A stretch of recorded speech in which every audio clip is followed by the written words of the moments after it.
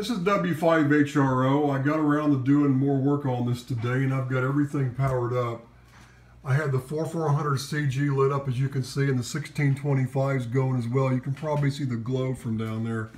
And I'll come up here and you can see both the tubes. Right there they are. The big one and the uh, 1625 clamp tube on the uh, right side.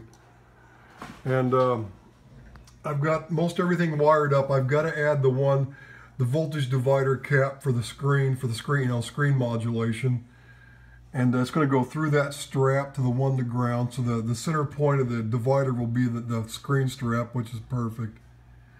And uh, right now I don't have the relay engaged. I'm clipped on from the chassis to the uh, the uh, the grid connection on the 4400. And I'm seeing about, what is it? Get rid of the glare here. About minus two point some odd volts. Now if I engage the relay, if I hit the selector switch and see there it is. Now it's the relay's engaged. I'm getting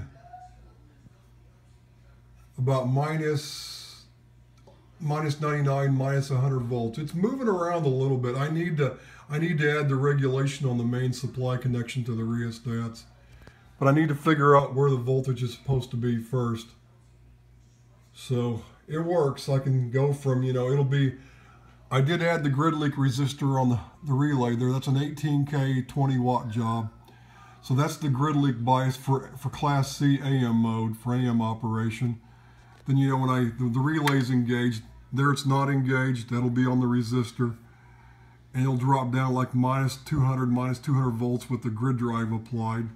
And then when I click this, engage the relay, it'll have a fixed supply, which I'm gonna, I don't know where it's supposed to be yet. It's supposed to be anywhere from like minus 75 to minus, you know, 150. It could be anywhere in between there. And by some weird chance, it could be a little bit lower than minus 75. But uh, the specs I have on this tube are for it to, I think 2500 volts and my plate supply is only like 2125 so it's a little bit low. So I don't know exactly where the, the uh, grid bias supply is going to be for the uh, 4400 yet. Now, if I don't shock myself here, if I can get a hold of this real quick, I'll just take the clip off and go up here to the uh, 1625 grid connection. I have it set right now to like a minus 191, minus 200. You know, it's it keeps moving around on me, so I, I need to regulate the supply. I just don't know which regulator to use yet. I just have to figure out where everything needs to be, where the 4400 grid's supposed to be for the right AB bias, and where the, the, the 1625 grid voltage needs to be to uh, get the right amount of clamp so the, uh, the, the 0D3 regulators that are going to plug there don't don't have you know excess current because when I go down to the AB bias, when I switch the grid control grid to AB bias from like minus 210 or minus 200 to like minus say 75, the voltage on the, the screen regulation is going to want to come way up. So I've got to adjust the clamp to pull it down a little bit so it doesn't run away. So the, the current on the tube stay okay. That's the whole point of doing the 1625 biasing too with the relay as well as the uh, 4400 control grid. And if I uh, uh, turn off the relay and go back to Class C mode, see there's nothing, there's just a dead short between the uh, 1625 uh, control grid and the uh, 4400 control grid. It's just dropping down to where it was without the voltage on it. If I go over here to the uh, 4400 grid, it'll be the same. See, so it's, it's creeping back down again to like minus minus, you know, 1.9, minus 2 volts, something like that. It's, on average, it's about there. See, it jumped around on me.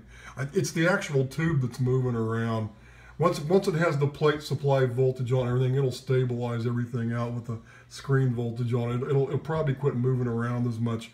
There's a good chance that maybe the reg, the regulation will stay put, but I'm not I'm not 100% positive yet. So anyway, I got that all working. And there's the uh, two uh, one meg resistors I was talking about. So just in case the wipers, if you know, if the these rheostats were to open up, they'd uh, at least I'd have something. At least the grids would have a, a path to ground. The control grids on both tubes would have a path to ground. So I did that just to be on the safe side, just so it, you know they're not going to be floating.